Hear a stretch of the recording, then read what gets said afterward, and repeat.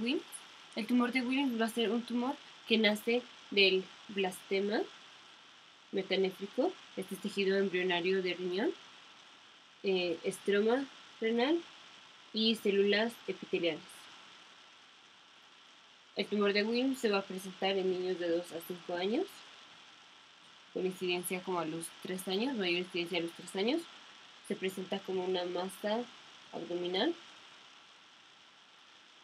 Puede ser con hematuria o con hipertensión por aumento de la renina. En casos más severos puede haber obstrucción intestinal o que se expanda a la pelvis. El tumor de Williams se va a asociar a tres síndromes. Uno es el síndrome de Ward, el otro es el de Beckwith-Whitman y el otro es el de Dennis-Drash. El síndrome de Ward es el acrónimo para decir Wilms tumor aniridia, anormalidades en los genitales y retraso motor o mental.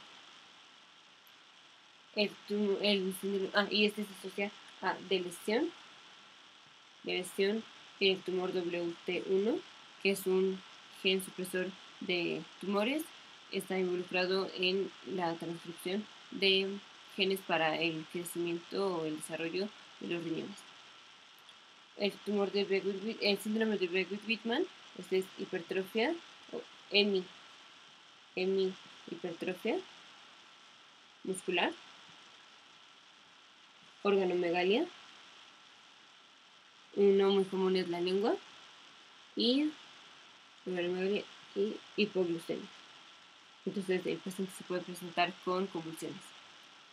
Y el síndrome de Dennis-Drash, ah, antes Begui Whitman es por eh, defecto en la implantación, implantación del gen WT2, que realmente resulta en expresiones anormales del insulin growth factor 2.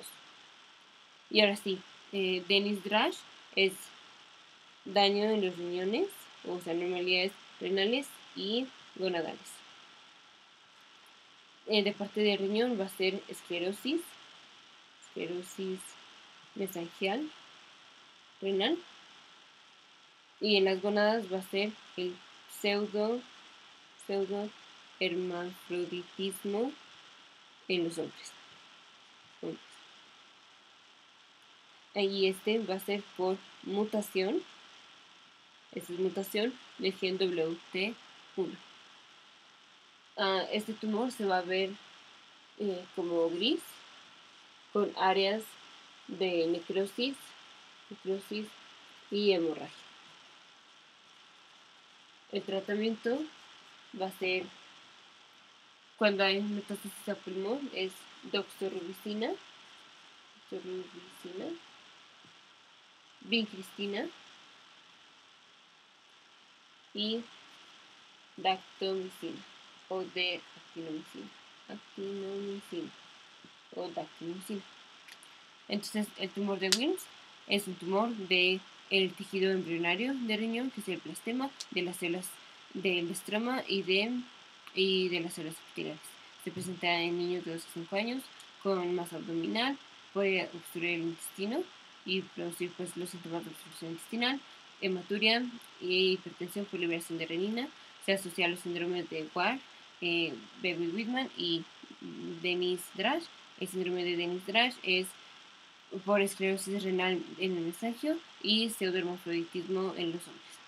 El tumor de Baby Whitman es hipertrofia muscular, organomegalia e hipoglucemia.